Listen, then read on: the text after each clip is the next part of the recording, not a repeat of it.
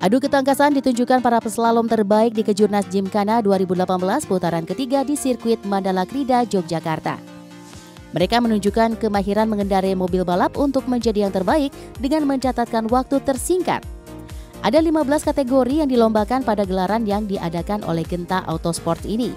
Tiga di antaranya di kelas nasional yaitu AF dan kelas modifikasi, sementara sisanya kategori roda belakang, pemula hingga kelas wanita.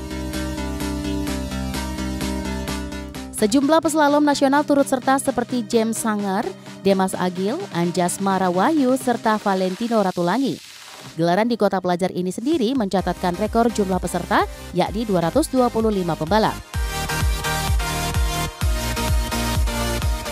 Untuk kejurnas kategori A, waktu tercepat diraih Herdiko Setiaputra dari DKI, disusul Adrian Septianto dari Jawa Tengah dan Adrian Zayunial dari DKI Jakarta. Sementara untuk kelas modifikasi, juara diraih Adrian Septianto dari Jawa Tengah, disusul dua peslalom ibu kota, Adrian Zayunial dan Anjas Marawahyu. Di kelas wanita, nama Alinka Hardianti dari DKI masih mendominasi, disusul Rinda Kahad dari DKI Jakarta dan Arisanti Kusumadewi dari Yogyakarta. Aja sih, lebih tertantang aja.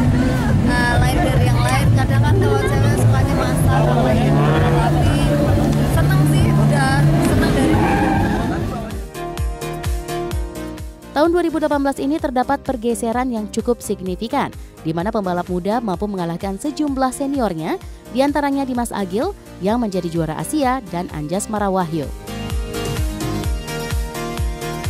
Gelaran Gymkhana tahun ini, Genta Autosport sebagai penyelenggara menerbitkan dua soal yang harus ditaklukkan oleh masing-masing peslalom. Para juara ini akhirnya akan mewakili Indonesia di kejuaraan Asia Pasifik di Bali Agustus mendatang.